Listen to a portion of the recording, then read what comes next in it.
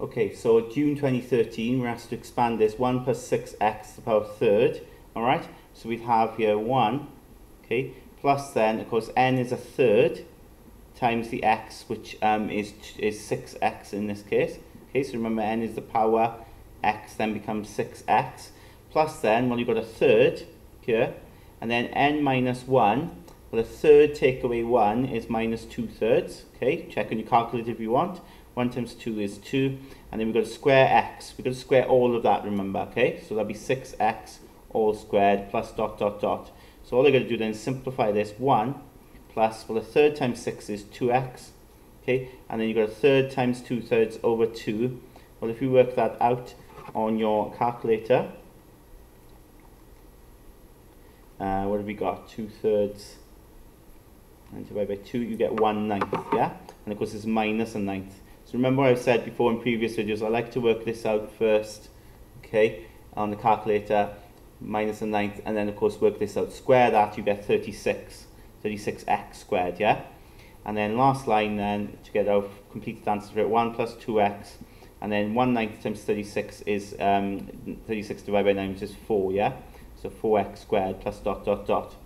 Now, part 2 then it says what is what's it valid for? Of course, then we use this from the formula booklet and we put in um, what our x has become 6x. We do mod 6x is less than 1 you take the 6 out the mod, and then of course then you take it over and divide, right? So um, mod x is less than 1 6. So that means x then is le less than 1 6 or greater than minus 1 6, okay, the actual size of it.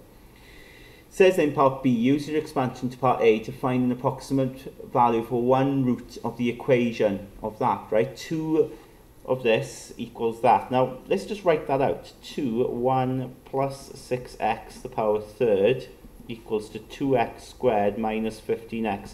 What they want you to do is, right, they want you to use this solution, okay, um, which we did, didn't we, um, up to x squared. Um, and remember, our solution for this um, is this here, yeah, using binomial theorem. So what we can do is substitute it in there, all right? So instead of having 2 times that bracket, remember there is a 2 in front, 2 times that bracket, I can have 2 times all of this. Okay? And that will equal then to 2x squared minus 15x. Okay? So I'm just substituting it in, right? I'm substituting my expansion in there. So if I simplify this, I get 2 plus 4x minus 8x squared equals 2x squared minus 15x. Okay? Um, we, need to get it all onto one side. Okay, that's what I, I would do there get it all onto one side. So we'll get everything onto maybe um, the right hand side. So we'll have 0 there. 2x squared minus 15x. Take that minus 8x squared over, becomes plus 8x squared. Take that uh, 4x over, becomes minus 4x. Take that 2 over, becomes minus 2. So then this becomes 0 equals 2x squared plus 8x squared is 10x squared. Minus 15x minus 4x is minus 19x and then um, what have we got there? Minus 2 at the end, yeah? So we've got that as our um, quadratic, we can see here, yeah? 10x squared. I mean, often we like to put um, 0 on the right-hand side, but that's what we've got, 10x squared minus 19x mi minus 2 equals 0. So let's see if we can solve this, because it is asking for one of the roots, right? One of the solutions, okay? Um, so factorize, let's see um, if this works, multiply, add. So remember, when you've got a, a, a number in front of the x squared, you, you times that by the constant here. So 10 times minus 2 is minus 20. And I've got to add up then to give that number then in front of the x minus 19. So two numbers that multiply to give minus 20, add up to give minus 19. Well, I can think that 20 and 1, yeah? 20 times 1 gives me, gives me well, it gives me 20.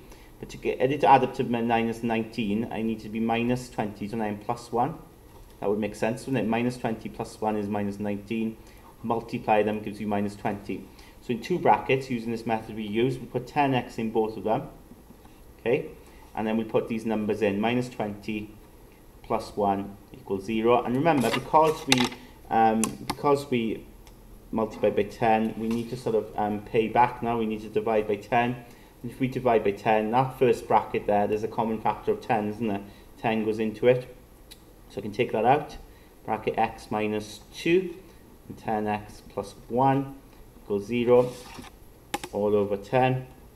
So then we can get our solutions. 10s will cancel. So quite simply then we say, look, x minus 2 equals 0 or uh, the other one equals 0. Okay, two brackets times together equals 0. One of them's got to be 0. So that means then um, x minus 2 will equal 0, so that means x will equal 2. Or um, 10x will equal minus 1, so x will equal minus a 10. Now it does say for one root, doesn't it? Okay, and we've got two out, haven't we? We've got two roots out. Yeah, if you look at the question, it did say one root. Okay, so one of them's got to be wrong, isn't it? One of them's obviously not right here. Okay, um, what's not right? Well, if we go back to remember, remember this is based on the binomial expansion. This is, yeah, binomial expansion we use. But remember, the binomial expansion, it was only valid for this x is less than 1 sixth, the size of it. So if x is going to be less than 1 sixth, well, 1 tenth will be fine, won't it? Okay? Because, or minus a tenth is fine, because minus a tenth, the size of that, okay, um, the size of minus a tenth is just a tenth, isn't it? Now that will be less than 1 sixth. Okay, so that's fine. That, that's okay. That ticks the box. However, the size here of this size of x here, the size of 2 is 2, but that is not less than 1 sixth. Okay, so we say our solution is x equals minus 1 tenth. Okay, and we'll, that's our solution now. And we just say, look, x equals 2 um, is not a solution. Okay, is, is not a solution because it's outside of our range, basically. Okay, it's outside of our range for this binomial theorem to actually work. Okay? Job done.